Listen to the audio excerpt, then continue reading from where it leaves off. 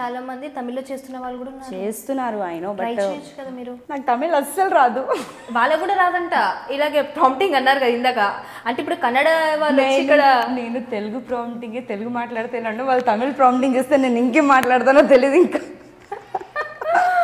So మరి ఈ లెక్క ప్రకారం అటు తమిళియన్స్ కన్నడ వాళ్ళు మనకి ఇక్కడికి వచ్చి మోస్ట్లీ వాళ్ళే కదా చేస్తున్నారు. వాళ్ళందరూ ఎలా చేస్తున్నారు?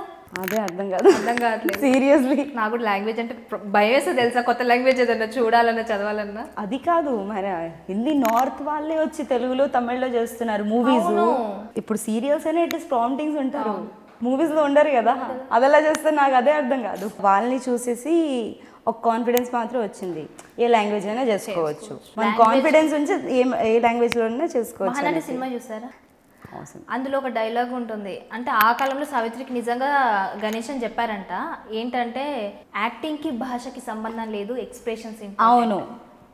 సో అందుకే కదా మేము అప్పుడప్పుడు ప్రాంప్టర్స్ చెప్పినా కూడా కొన్ని ఒక్కొక్క లైన్ లేకపోతే వర్డ్స్ మింగేసినా కూడా ఆ ఎక్స్ప్రెషన్స్లో కవర్ చేసేస్తావు కదా.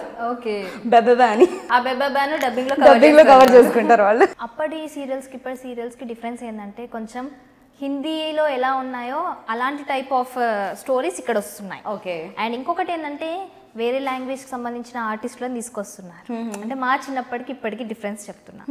ఇప్పుడు జనరేషన్ చేంజ్ అయింది కాబట్టి మనం కూడా కొత్తగా ట్రై చేద్దామనా? అంతే కదా. ఫేసెస్ కూడా వాళ్ళకి న్యూ కావాలి కదా. సో ఏంటంటే చాలా మంది అంటున్నారు మోస్ట్లీ కన్నడ నుంచి తెచ్చుకుంటున్నారు తెలుగు ఆర్టిస్టులు లేరా? ఈవెన్ సైడ్ క్యారెక్టర్స్ కూడా వాళ్ళే తెచ్చుకుంటే ఏంటి అని చాలా మంది ముందుకు మాట్లాడుతున్నారు. మీ ఒపీనియన్ ఏంటి? That's all depends upon channel ఇంకా మేమేం అనుకోవాలి?